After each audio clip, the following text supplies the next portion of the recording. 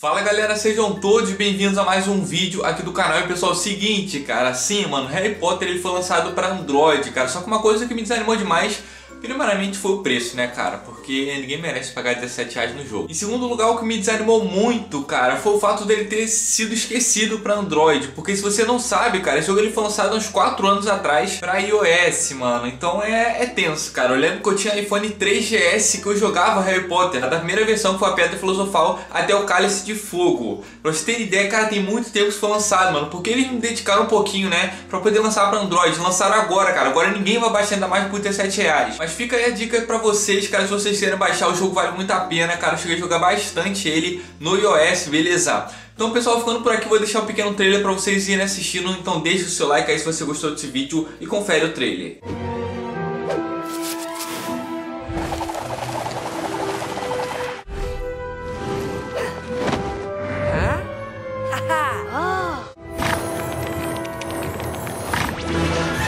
Come cast your spells.